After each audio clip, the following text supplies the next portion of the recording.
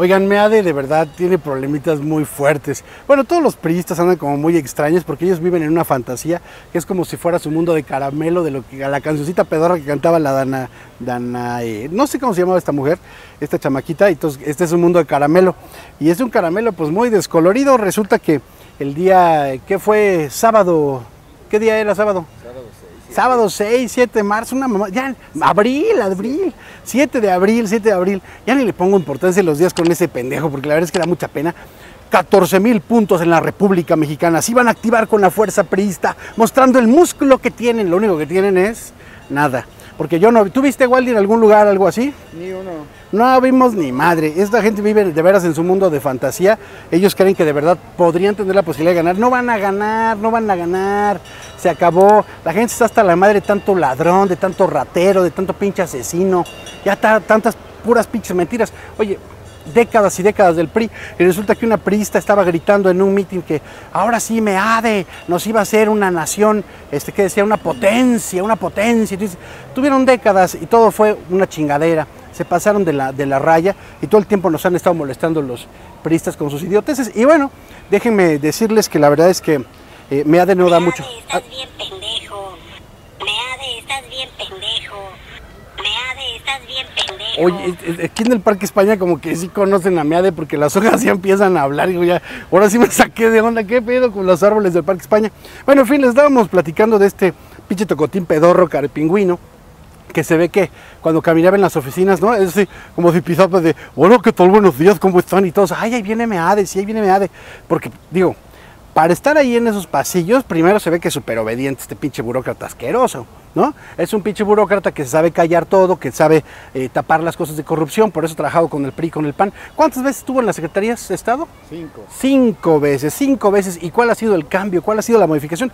Ninguna, porque lo único que hacía él era estar tapándole a todo mundo todas las corruptelas. Evidentemente él se le llevaba una mochada, ¿o qué creen?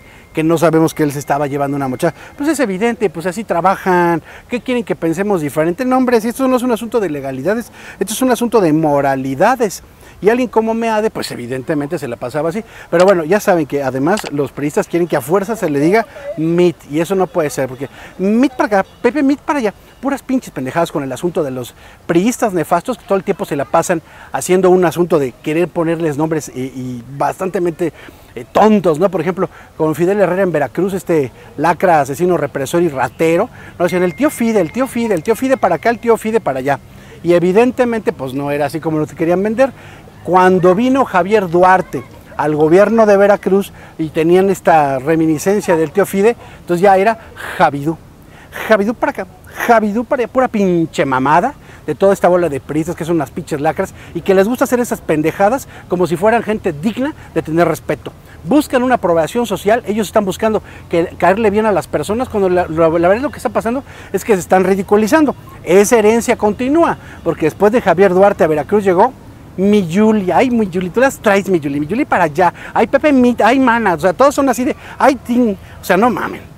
Pura pinche pendejada por este tipo de personas que la verdad es que son puras vergüenzas las que nos hacen pasar y que nosotros ya estamos hartos de que en este país sigamos teniendo a estos eh, personajes tan nefastos que todo el tiempo se creen ellos como muy bien hechos, como que muy buena onda. Al PRI no le salió este asunto que quería el PRI de que tuviéramos que estar nosotros este eh, ahora sí que creyendo que porque no tenía cola, ¿no? Decían, es que no sabe qué hacer la oposición porque resulta que Meade no tiene cola que... Meade, estás bien pendejo. Meade, estás bien pendejo. ¿Qué onda con los árboles de Meade, Parque estás España, eh? pendejo. Es que la condesa siempre gana Obrador, güey.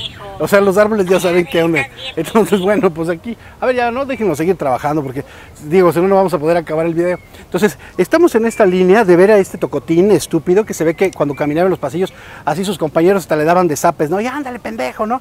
Y se volteaba y, ¿a quién le están pendejeando, no? Y su letrerote de, este, párteme la cara, pateame el culo, ¿no? Cosas así. Este, ¿sabes qué? Me recuerda mucho este personaje que hemos estado platicando, el- el de, este... Volver al futuro, ¿no? Es este George McFly, el papá de, del protagonista en la historia, que cuando llega este, en el tiempo, retrocede en el tiempo y lo ve que de verdad es un pobre pendejo. Well, actually, I figured since it wasn't due till Monday. Hello? Hello? Anybody home? Hey, think McFly. Oh, McFly, your shoes untied. Pues bueno, sería, este, espérame, Pepe Mit para Pepe para allá, no, el José Meado McFly, ¿no? Así es de sencillo el asunto con el meado. Y bueno, pues esperamos que ya todo el mundo eh, sigue, oye, pues que les cargue 20. Es una vergüenza hacerse llamar periodista hoy día. Es después de todo lo que nos han hecho de daño estos personajes, imagínense que todavía hay gente que sale a defenderlos. Pero ¿quiénes salen a defender a los periodistas? Pues los que están mamando chichi del erario ellos son, o los que están buscando un puesto, ellos son, porque en realidad la gente que tiene dos dedos de frente y que la gente que está normal de su cabeza sabe que no podemos votar por una bola de malandros que han destruido la República. Así que, ¿qué vamos a hacer con estos árboles? La verdad no entiendo. Ya, porfa, chicos, déjenos trabajar porque ya estamos acabando. Nada más les queremos decir que efectivamente, José Meade, estás bien pendejo.